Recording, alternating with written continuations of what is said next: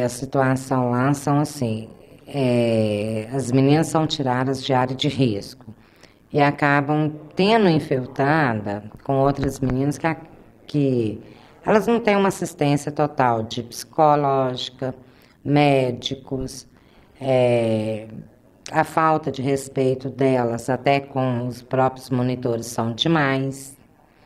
As coisas, mas tudo vem pela falta de conversa, assim, de um psicólogo para ter atendendo, tudo porque elas já entram para lá com uma dor muito grande.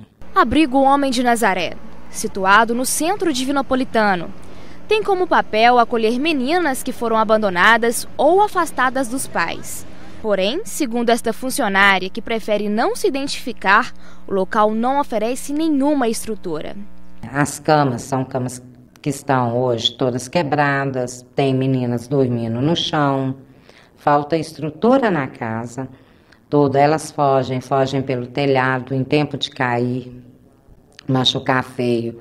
De acordo com ela, a polícia já registrou vários boletins de ocorrência devido a problemas com as meninas no abrigo. Fica muito complicado. Você chama a polícia, a polícia já não quer ir lá mais, falou que tem coisas mais importantes para fazer. Toda a casa está toda estragada. É, tem barata na casa. É, a caixa d'água, não sei quanto tempo que não é limpa. Tem as fotos dela toda mofada é, banheiros estragados, porque a, é, a, prefeitura ajuda. Então, tem muitas pessoas, é, marceneiros, essas coisas que poderiam ter ido lá fazer o serviço. Então, queria pedir às autoridades para dar mais atenção. Atualmente, são 19 crianças e adolescentes com idade entre 8 e 18 anos que moram na casa com essa situação preocupante e com as instalações precárias.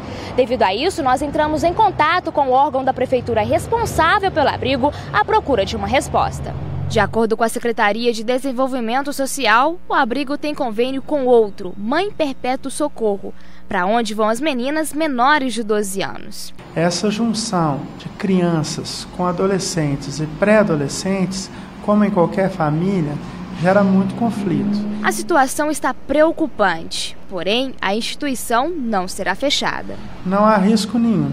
O que a gente está fazendo é adequar o abrigo às novas normas do Sistema Único de Assistência Social. Elas cresceram dentro do abrigo e nós faremos política, nós desenvolveremos medidas, nós tomaremos decisões para que essa solução seja resolvida. O abrigo é mantido por verbas da Prefeitura. Para o secretário, já é um avanço a casa estar no centro, visto que um ano antes ela ficava em um bairro periférico da cidade. E apesar das dificuldades que foram apresentadas, ele afirma que a secretaria trabalha para melhorar as situações antes do problema se agravar.